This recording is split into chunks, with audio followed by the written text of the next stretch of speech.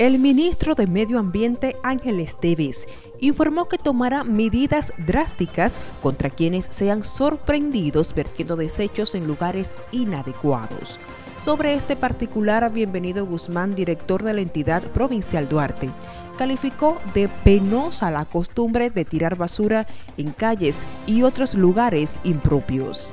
En el Día Mundial del Medio Ambiente, el ministro Ángel Esteves eh, anunció que van a tomar medidas drásticas eh, contra las personas eh, que tienen desperdicios en los lugares públicos, pero muy especial en las avenidas, las calles, las carreteras que comunican un pueblo con otro, una provincia con otro, porque como ustedes pueden ver, es muy penoso y muy feo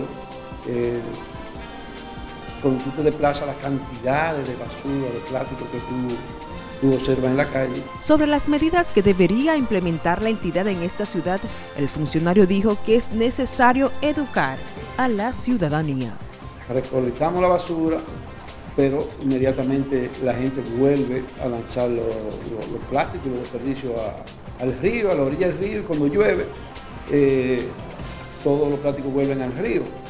Y es tan tal que tú puedes ver que cuando llueve, la gente aprovecha y saca la basura y la tira a la calle para que el agua se lleve eh, la basura, los plásticos. Entonces los plásticos van, tapan los hidrantes, se crea el caos, van a los ríos, van a la cañada, y ahí van al mar, entonces tenemos toda esa Es un compromiso de todos, no es un compromiso solamente del Estado o del Ministerio del Medio Ambiente, es un compromiso de todos, de todos nosotros saber que, no podemos lanzar los desperdicios, especialmente de plástico, a, la calle.